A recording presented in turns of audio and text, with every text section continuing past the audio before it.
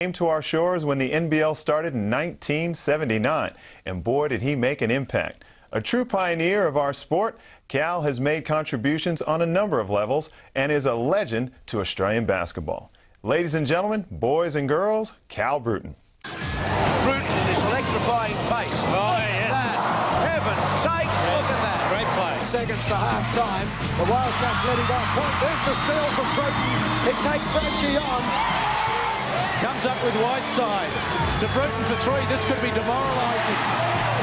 Oh. Growing up in New York City uh, is a tough environment, and sport was a tremendous, tremendous vehicle for all um, lower socioeconomic kids. Um, I always looked at it that it's the equalizer. You know, it gives you a chance. And basketball, which uh, I started late, I didn't really start playing basketball until I was a teenager. Uh, I had a little hoop in the backyard, but I found that was the sport I put the most time in once I learned to play because all it took was a ball, a basket, and myself. And I used to be out there all the time. And then, of course, uh, I used to drive the neighbors crazy, bouncing the ball all around at all hours of the night. I lived right across the street from the gymnasium and the track. And I used to run across there, and I was so conscious of being fit. Um, I saw a lot of drugs and alcohol around my own family. So it was my thing that that can just poison you and not give you any sort of chance to get to where you want to go. But for the most part, uh, yeah, I definitely made sport my, my ticket. And I knew that was the only way that I would be able to escape that environment. But uh, Rudy Jackson was my mate, and Rudy was the sought-after player. Uh, he was uh, six foot nine, shoot the three-pointer, handle the ball, pass it, everything. And uh, Wichita, as well as about 250 other schools, was after Rudy. And Rudy decided to go to Wichita. And of course, the scouts said, uh, well, you know, is there anything else we can do for you, you know? And he says, well, I really don't want to go without my man Cal. and I was this point guard, you know, and I used to, you know, make sure he looked good, you know, and uh, Rudy didn't pass his classes that he needed to in order to come into Wichita State. So he had to go to junior college and I was the one that was left. And uh, of course, the coaches were shattered, you know, because we went after this six foot nine, all American, do it all, and look what we end up with a five foot seven, you know, guy that. Geez, we can get them a dime a dozen, you know. So, and I was a little bit cocky, you know. You have a New York attitude when you grow up in that environment, you know. You believe in yourself because you had to escape it, you know, and that's the way you battle through. Well, coming out to these country bumpkins in the Midwest who thought they nicknamed me Rootin', Tootin', Calvin Bruton, you know, all that. I adjusted pretty quickly after that. You know, you, you're in university, you're getting a little bit of a rap. Uh, you know, the girlies are coming to the game. You got the cheer squad. You know, I was kind of excited actually because you're playing in front of Wichita's fanatical fans. You get 10,000 every single game, packed. Uh, my senior year, we went on to the NCAA's, which is the big show, and our first game was against Michigan University. And afterward, the scouts came down and in our locker room and told me to keep my head up and patted me on the back, and my coach was real proud. But nothing could erase that dying feeling that college is over with now. You know, you're finished. I got this guy who wanted to represent me uh, from Kansas. The agent said he'll, he'll get me a trial, if nothing else. He ended up sending me off to San Antonio and took us on the road of exhibition season. And then I got a call like that to come to Kansas City. They heard I was in town. They remembered me from that area. I lasted a week that was over with. Now I'm really, it doesn't hit me in the face that basketball is definitely not going to be the ticket. Uh, until after Clear Blue, six months later, I got the call to come to Australia. That guy uh, who was Dr. Dave Atkins was definitely uh, not, you know, not giving up. He called me, persisted. He called me again. You know, he said, "This would be a great opportunity for you. It's a new league. You know, I saw you play. I think you'd be superb here." And I said, how much you pay? I remember him saying, uh, how much you making on the trash truck? I said, 400 bucks. He said, we'll pay you that. I thought, 400, but I can't leave the family, just make it. He said, and we'll feed you breakfast. I said, you got a deal. And he says, well, you need to learn how to travel because you'll be doing that rather than us wait here. Just walk, look out this window. There's a little ferry that goes right across the river. Take that ferry, the river, then walk up the hill, and then you'll see the train. Go on the train. He had some coins, gave me the Australian money. He said, buy your ticket take the third stop is Auchenflower. Right from there, you'll be able to see the Auckland Dome. I thought, Dome? Gee, that's all right. Yeah, I'm excited, you know. I did my shower, put my gear on, got my, my sneaks out, you know, And got my little throwback, my cap, and I always carried me a big stereo. The boys in Bristol used to remember me for carrying the, the music around. And I'm jamming all the way there and followed the directions. Got to the um, third stop on the platform looking, Arkin Dome. Shoot, I don't see no dome. well, it must be on the other side of that tin shed. So I head on down the step, walked toward the tin shed. I saw a basketball on the front of the stadium. I thought, huh. Heard the balls. I said, dude, it must be on the other side. Maybe this is just the facade. I walked through and, and the cameras there. Like, yeah, welcome to the Arkin Dome. I said, what? He got six foot eleven up to Bruton. Bruton, the American Negro, takes the shot, puts it up and scores. Narrows the gap. After the first couple games, we lost like two out of our first three, and of course, uh, I got pulled in. Uh, Dave Atkins, who was the director coaching, can you score? I said, well, that's not what the coach is asking me to do. He said, well, I, am telling you, you need to score. you know, if the team is going to be successful, you need to score. And if you can't score, we might have to find somebody that can. Oh, well, you mean tell me, do I go talk to the coach? He said, just score. First game I came out, dropped 29. Then I went and we played Wollongong, uh, Illawarra at the time. So I dropped 29 that game. We beat them by a point. Then I came back and Doc I think he can score more. I was like, God. The next game I dropped 35 on Newcastle. Then I went to 40. Then I went to 44. And then I dropped 53 on Glenelg. And now everyone, the word is out. So everywhere I went now, the teams are coming after me. Hard guy to guard because he had all that shake and bake stuff. And that was kind of new for Australia back in those, you know, you're talking 1979. And, and he came in with, you know, razzle dazzle. Uh, uh, but could back it up. It's a one particular play about Cal that I do remember that Cal got the ball in just a beeline. You know, it's like a it was like a dribbling drill to him. He ran past all five of us for a layup. That's when we realized, oh no, this guy can play. Geelong had came and scouted me during the course of the season. We're trying to get into the National Basketball League, and they wanted a draw card, and they thought I could be that guy. In 1982, we got included in the National Basketball League, which was great. Of course, it was a tough season. Um, three games into the season, they sacked uh, the coach, uh, Tim Kaiser, and then they asked me to step in. He's the first guy I had the speed where that could shoot, could dribble, excellent passer, you know, a great competitor, and he combined that, that same thing as being a coach, and he's, I guess, strategic planner to trying to make sure he knew what he wanted to try to achieve. Keep that guy holding the ball. He needs option. So clear out, screen away, and bring him to whether it's diagonal, down, or cross. Okay? Bruton came out and just changed the game you know, people would flock to see Bruton. He was something that we hadn't seen. His scoring, his speed, his style of play. You know, you didn't have to rely on a screen to get open, and Cal would just punish you. You know, it's nothing worse than being taller than a player by several inches, and, and he's dictating to you what's going on. So we finished that season, I think it was 20 and 6 or something, and, um, and went on to to the semifinals. We had to play Nunawading, and we beat them, and then we go see West Adelaide in the championship uh, Al Green, Leroy Loggins, Ken Richardson, you know, Peter Allied, Ray Wood, and they went on to beat us by six in 80-74. And uh, Al, after we came out, he gave me the hug. That's when the hug started. Hey, you win, you hug, huh? You know, like. He's from New York, from Queens, New York, right? I felt he kept going under me. Because Cal, you know, he's small, and I'm jumping kind of high in those days, and, and he's trying his best to play good defense, so he went under me. I said, yo, man, you're going to be one more time. I'm going to punch you in your... And he go, Yo, man, who you think I, I ain't no punk, man. You know, I'm from New York, too. I go, yeah, where?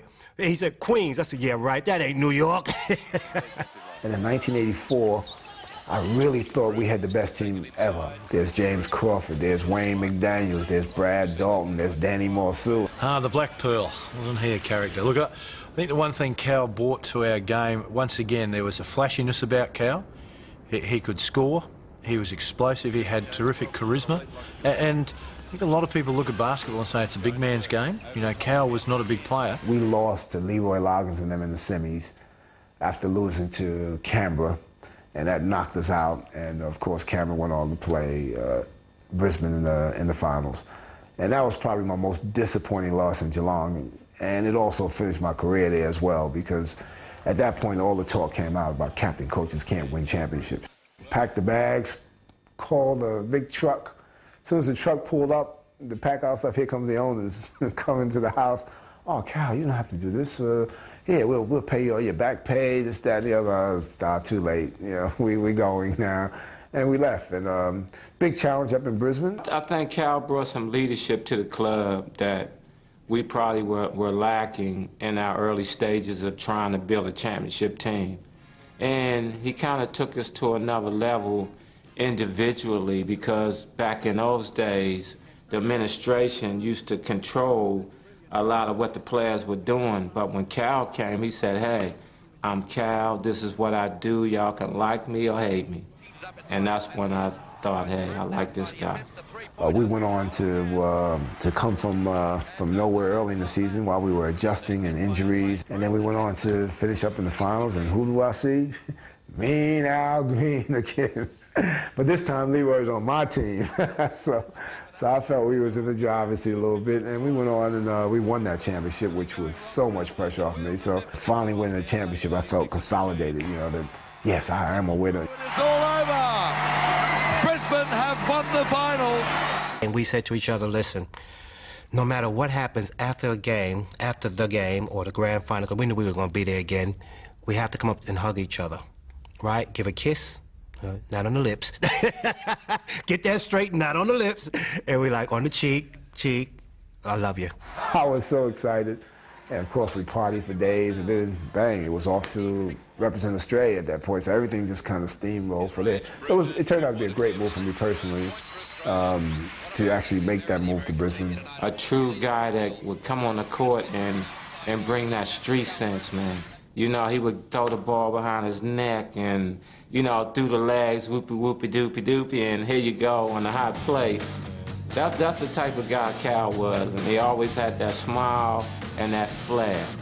And, and that's summing Cal up, man, because I won a championship with him, too.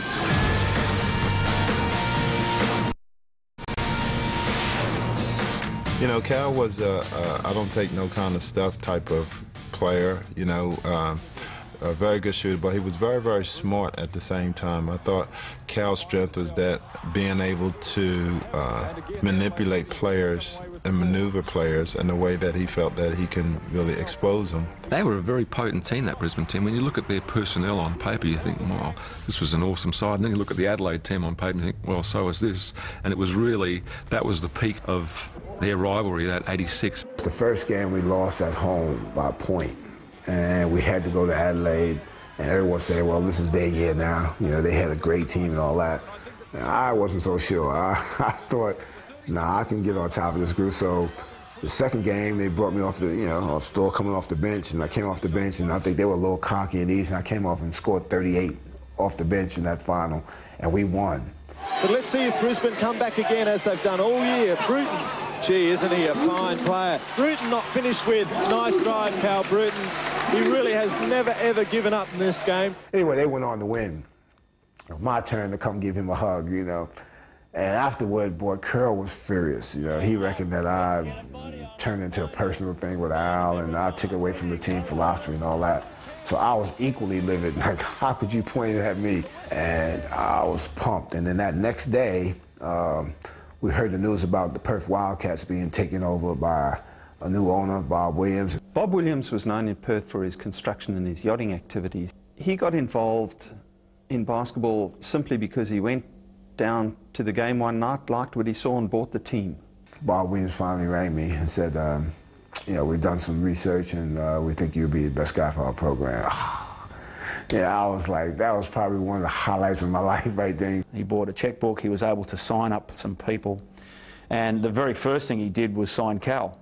And uh, with Cal comes a, a, whole lot of charisma, and uh, mate, you know, if there was ever a salesman, he, he is it. His charisma and, and the way he uh, got himself across to the media and got everyone on side was, was fantastic, you know, and uh, he just brought us to a whole new level. I admire Cal in different ways. So uh, coming back playing that style of game, I know it's going to be my style because Cal liked to do the same thing that I do. He liked to run, you know, he liked to stun and have a little fun. So we was all about that. So we, we have a good laugh together, and, and I know he likes to win. So one thing about Cal, and to get down to the to the end, he he, he will go to war with you. He's a guy you want on your side. This loud, brash guy called Cal Bruton arrives in town, an absolute journalist's dream And he did a fantastic job making the public conscious of basketball, and he assembled a very good side.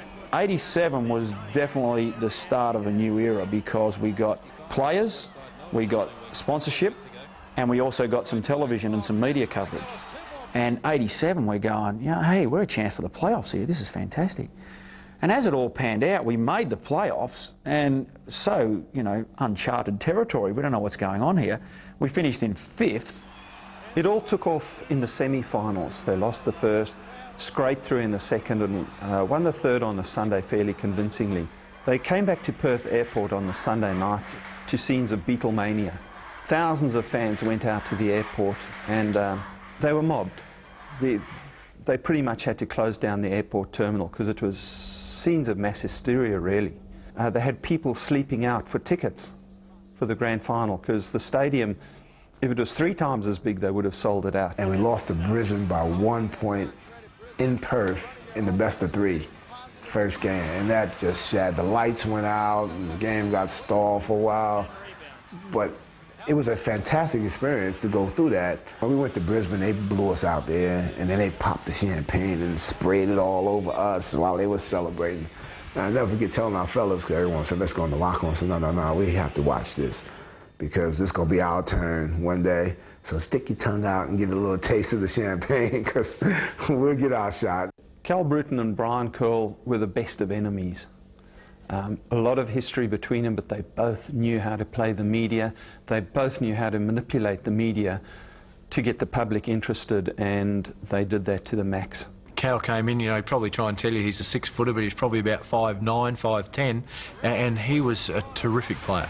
And he made players around him play better. He played with an excitement. Suddenly there were all these kids running around that wanted to be like Cal Bruton. Wildcats, I thought, like really set the trend. And Bob Williams and Kerry Stokes came in, you know, sort of a, a year later, really took it to the next level, you know, in, in, professionalism. At the end of that year, the owners came to me and said, uh, well, yeah, why don't you make a decision whether you want to play or coach? Uh, I went to the owners with a proposition that I like to look at the next phase of my career in terms of becoming a general manager. And uh, I like to learn under Kerry and Bob, who obviously are astute businessmen, um, to assist me in that role. And would they consider me being a player and just being a general manager, and I'll go out and hire a new coach? So they said, yeah, that sounds good. it's never been done before in basketball. Alan Black's name came up, so we brought him in as head coach. But then we got to the finals and we played North Melbourne Giants and we get smacked by 55 points. Cal Bruton at that point decided that, well, that's probably fairly significant because he played in number 55 and he said, if ever there was a sign for me to retire, that's it. So I decided right then, I didn't tell anybody that I was going to retire from playing and just take up my full-time role as general manager. There was a, a lot of friction, obviously, between Cal Bruton and Alan Black at the time that very first road trip of the 1990 season, the team went down to Geelong, um, a superstar lineup, fell across the line, went up to Melbourne the next night, played Westside Melbourne Saints, who were the easy beats of the competition, and got beaten. Um, Cal and Alan were engaged in a fairly serious discussion for four hours on the plane flight back to Perth. Two days later, the owners fired Alan and declared Cal would take over as coach. 1990, we'd put together a team that could really go all the way. We had no doubt in our mind that we could do that. We had that deep desire to succeed and to win. And we had decided at that point that, you know, this getting close is no good. We're not going to get close anymore. We're going for it. And then we're playing Brisbane, who's the team that beat us in 87 and we're back again, home court advantage with them. There's also been a fair amount of rivalry between Brian Kerle and, and Cal Bruton over the years, you know, and to me, that is what built the excitement in that series. Very interesting grand final again. Wildcats dominated in Perth, went up to Brisbane for game two, which was an absolute catastrophe from the Wildcats' point of view.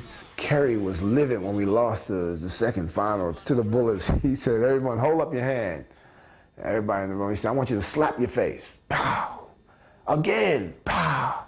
Again. Pow. And my assistant coach at the time knocked the filling out of his mouth. He slaps himself so hard. And he, Kerry says, how did that feel?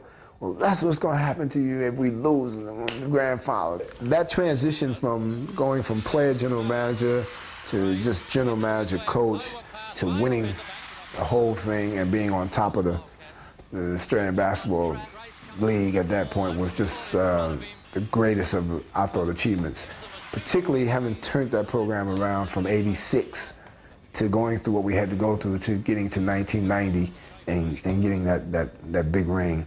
Um, the crowd, the town. It was the first national championship for West Australia. There wasn't a lot of celebrating after Grand Final 3 uh, in the stadium. Um, they got their, their presents, rushed off the court, showered, got changed. They had a bus waiting at the airport so they could make the flight home. In the panic, uh, the one thing they forgot in the change room was the trophy. And um, on my way out to the bus, I ducked, I ducked into the change room to try to grab something to drink because I'd, I'd been working flat out making my deadlines and uh, went into the change room, which was in a state of absolute chaos, and no one in there but the trophy. So I grabbed and went on the bus and said, better, better bring this along. When we got to uh, the plane that they uh, they said to carry that, you know, it's too big. We have to put that underneath. I said, no, it's coming with us. We're to buy a seat for it. You know what I mean? So we brought the, the, the trophy on the, on the plane with us back to Perth.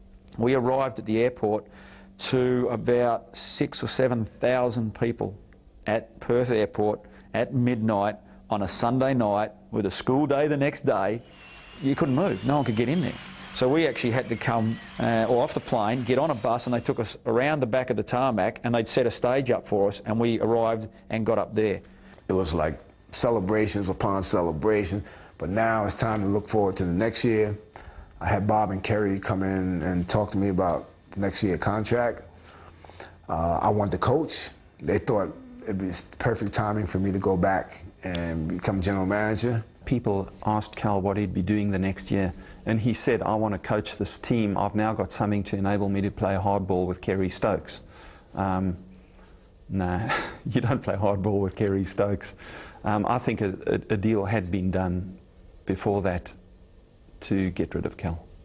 I did it for four months, and then finally Hobart, uh, Wayne Monaghan, uh, and Dave Atkins, who was in America at the time, was contacted. Uh, he contacted me and said, you know, what you're doing there, they just gonna ice you down. You, you need to get involved in the league. There's a challenge for you down in Hobart. The Wildcats um, have accepted my resignation as general manager of the Perth Wildcats uh, so that I can accept a position of coach with the Cascade Hobart Tassie Devils. I'll never forget my first. I left the entertainment center where I had a secretary, a receptionist, had my own office, stadium, everything. I go down to Hobart, get off the plane. They take me to the office, a little old house with a little heat underneath the desk in the bedroom. First bedroom on the left is your office. the bedroom on the right was the general manager's. The kitchen was like a storage area for all the basketball stuff. I'm going, God, Cal, what did you get yourself into here, you know? From the penthouse to the outhouse in one bold stroke, you know? and I had a different attitude. I thought, gee, I could have this like Vegas, you know?